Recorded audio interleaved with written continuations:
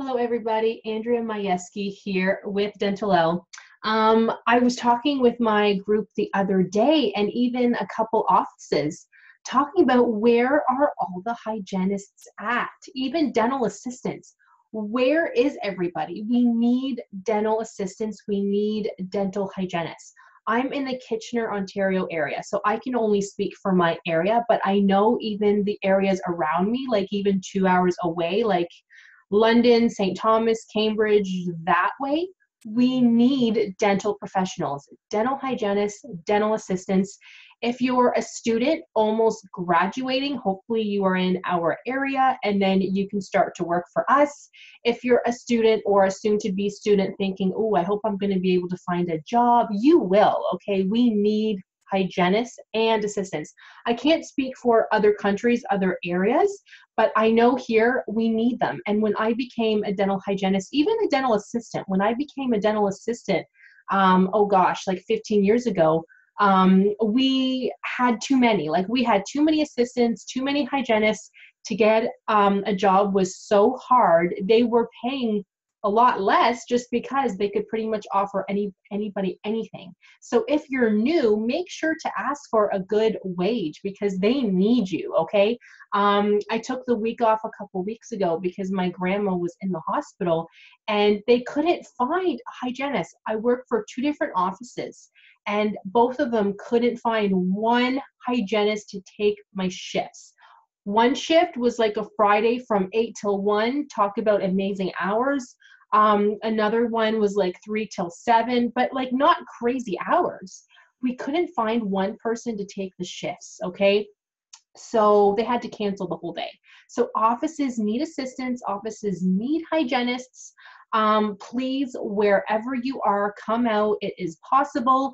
Um, if you're a potential student asking about the job market, asking about if this is a good career, yes, it's amazing. If you want to get in dental, either dental assisting, dental hygiene, this is an amazing career. Depending on the office, you might not get um, benefits. It does depend on the office. If you work for a larger office, you probably do. If you work for a smaller one, they might not have enough employees to offer that.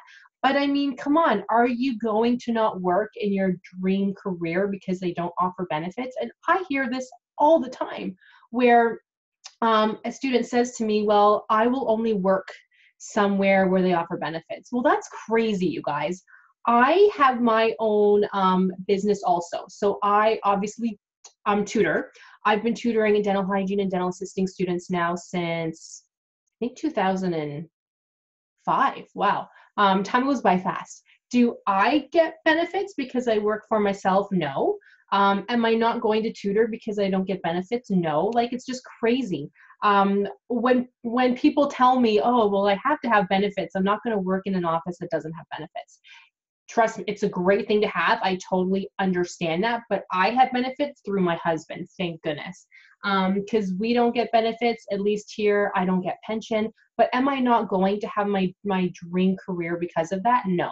Um, another thing that I hear often is um, um just people asking about the job market. So even if you're a potential student, don't not take the dental hygiene or dental assisting program because you're worried to get a job afterwards. Because in a year for assisting, in two years for hygiene, things could change. But even now, we need people anyway. So that's not somebody's excuse. Um, when I first became a dental assistant and a dental hygienist like 15 years ago, there were too many of us. So everybody said to me, including all of my, you know, friends, family said to me like oh do you really want to do this? You might not get a job afterwards and like making money is important. I'm like well this is something that i want to do. So in two years things could change. I'm not not going to take my dream career program just because of what might happen right?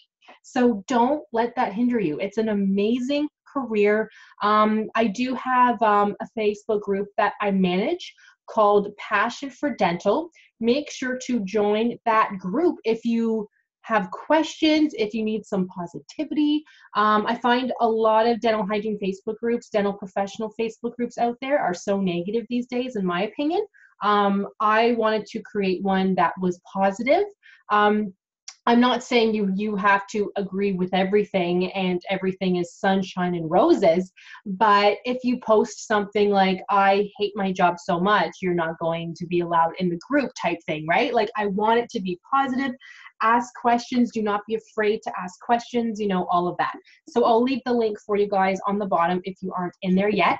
Um, but yeah, you guys, let me know if you need anything and let's have some sorry i thought i heard something. Um let's have some passion. Let's have some positivity again because this is an amazing career. Um it takes a, it takes a special person to be a nurse for an example. Well it takes a special person to be in the dental profession too because we're in healthcare. We see people so thank you guys for watching. If you have questions let me know and i'll see you in the next one